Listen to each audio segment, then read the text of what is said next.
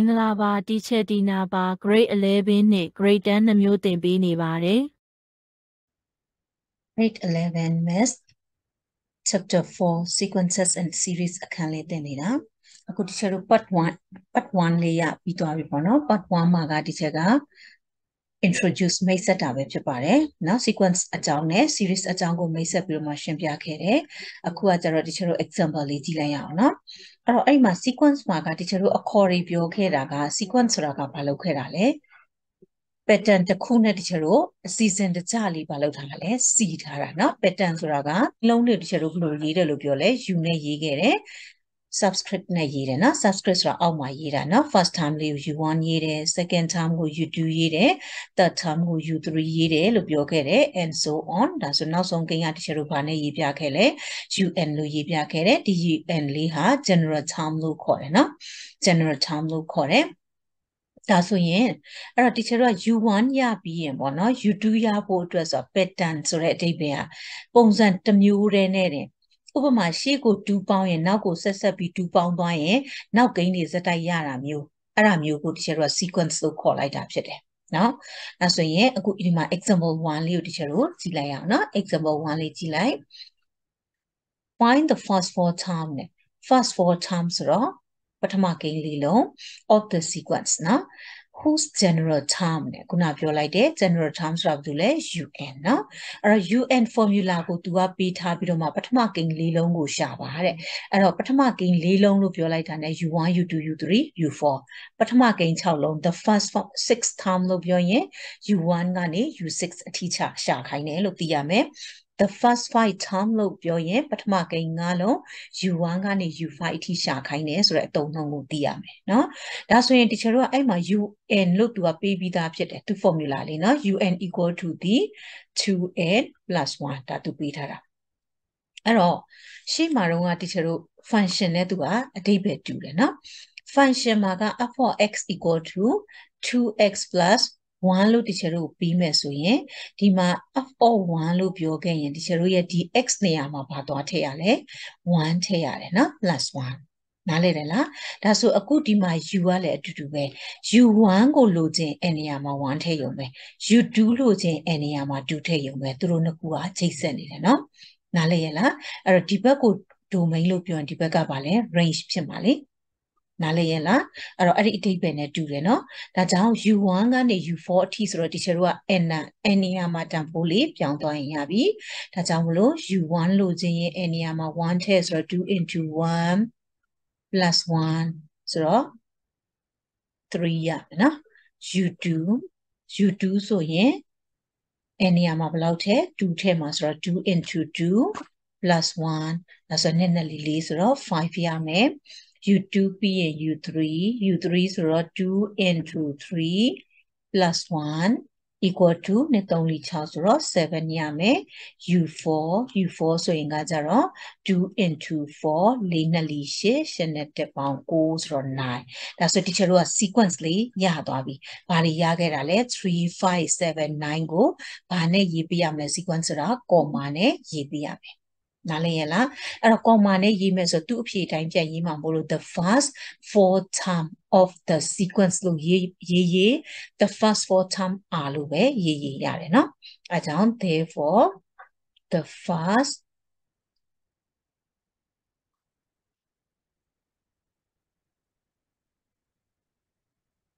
terms are လို့ရေးလိုက်မယ်တချင်နော်? the first four terms are ဘာတွေလဲ ?3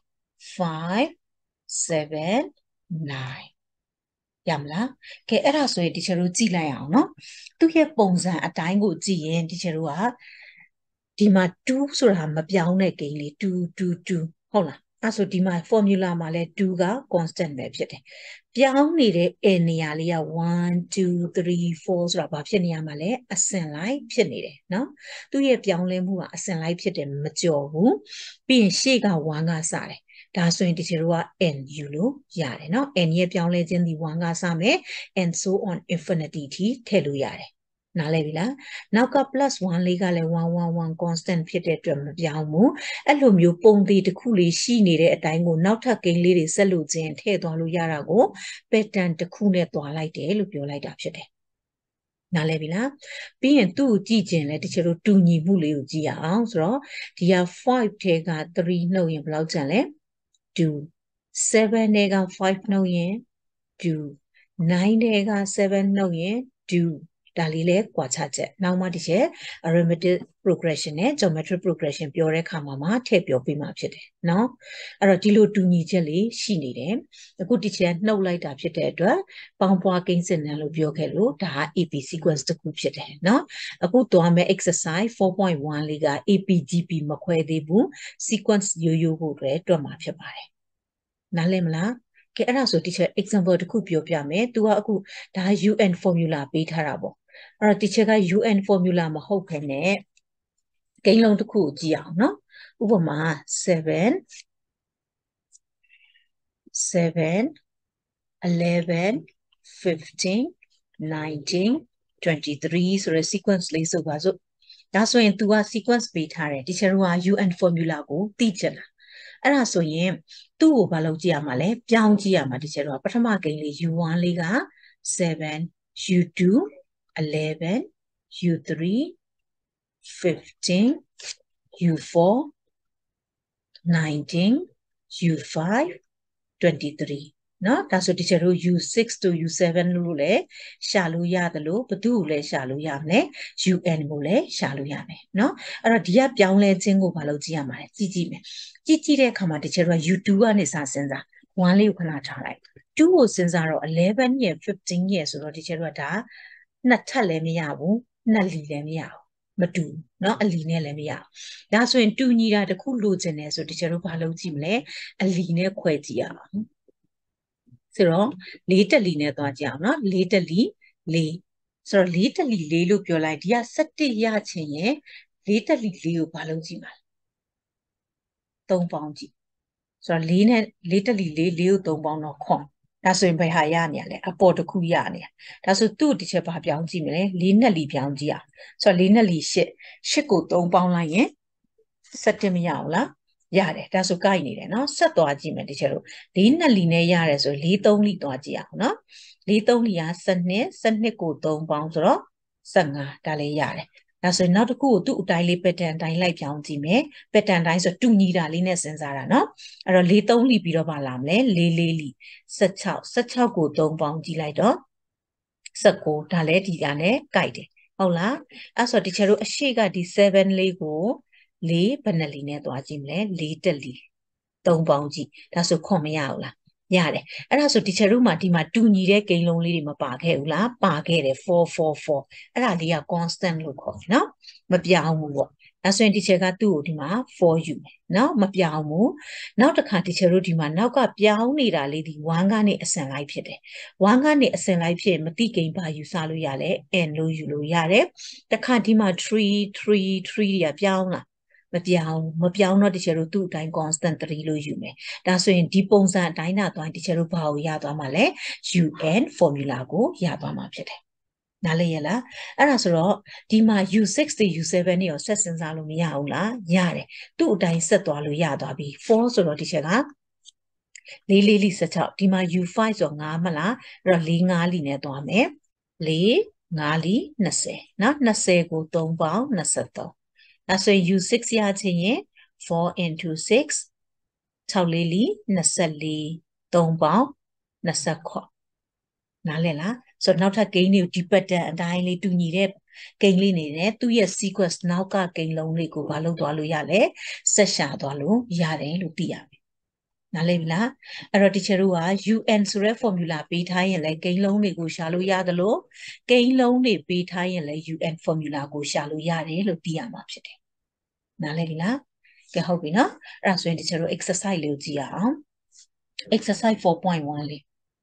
အဲ့တော့ exercise 4.1က find နဲ့ရှာပါ the first four term first four term ဆိုတော့ပထမကိန်း၄လုံးနောက်ဆိုဘာလုပ်ပြရမလဲ u1 ကနေ u 4အထိရှာမယ်နော်တခါ of the sequence ဆိုတော့ခုန example လေးနဲ့တူတယ် by the rule of formation နဲ့ rule of formation အောက်မှာပေးထားတဲ့အချက်အလက်အချက်အလက်ဆို UN formula လေးပေါ့နော်သူအောက်မှာပေးထားတဲ့ UN formula လေးကိုသုံးပြီးတော့တဲ့ teacher တို့က U1 ကနေ U4 အထိကိုရှာပါခုနပြောခဲ့ပြီး U U1 U2 U3 ဒီ UN သိရင် n နေရာပြောင်းသွားလို့မရဘူးလားရသွားပြီသူ U တန်ဖို့ကိန်းလုံးတန်ဖို့ဘယ်လောက်မေးမေး teacher တို့တွက်လို့ရသွားပြီเนาะအဲ့တော့ U1 တွက်မယ်ဆိုရင် 1 1 equal to 2 U2 တွက်မယ်ဆိုရင် n နေရာမှာ2မို့လို့2 1 equal to 3တခါ U3 U3 ဆို n နေရာမှာ3ဆိုတော့3 1 equal to 4တခါ U4 U4 ဆိုရင်4 1 equal to 5ဒါဆိုရင် teacher ရဲ့ပထမကိန်းလေးလုံးရသွားပြီဆိုအဖြေထုတ်မယ် therefore the first four term are ဘာတွေရခဲ့လဲ2 3 4 5ဒါပထမကိန်းလေးလုံးဆိုတဲ့ sequence လေးကိုရသွားပြီနားလည်ရလားကဲဟုတ်ပြီအဲ့ဒါဆို BO ကြည့် BO ရချင်တယ်ဆိုတချို့က U1 U1 ဆိုရင် n နေရာမှာဘာထည့်1ထည့်မယ်1 square equal to ဒီပါပဲရ 1 U2 လို့ချင်တယ်ဆိုရင် n နေရာမှာ2ထည့်2 square equal to 4တခါ U3 လို့ချင်တယ်ဆိုရင် n နေရာမှာ3ထည့်3 square equal to 3 3လီ9 U4 U4 ဆိုတော့4 square equal to 4 4လီ16ဆိုတော့အဖြေရေးလို့ရပြီ therefore the first four term are ဘာတွေရခဲ့လဲ1 4 9 16ရရလားကဲဟုတ်ပြီနောက်တစ်ပုဒ်ဆက်ကြည့်မယ် C လေးကိုကြည့်အောင် C ကကြတော့ကဲ u1 စတွက်မယ် u1 equal to အဲနေရာမှာ1ဆိုတော့1 2 minus 1ဆိုတော့ဘာရလဲ1 2ကဘယ်နှထပ်တင်တင်1ဆိုတော့1 minus 1က0 u2 u2 ဆိုရင် အဲ့နေရာမှာ2ထည့်မယ်ဒါကြောင့်မလို့ 2q 1 equal to 2 3ထပ်ဆို8 8ထည့်တင်ထုတ်လိုက်တာ7နော်တခါ u3 u3 ဆိုရင် 3q 3 3ထပ်က29 29နဲ့ကတင်ထုတ်တော့26တခါ u4 u4 ဆိုရင် 4q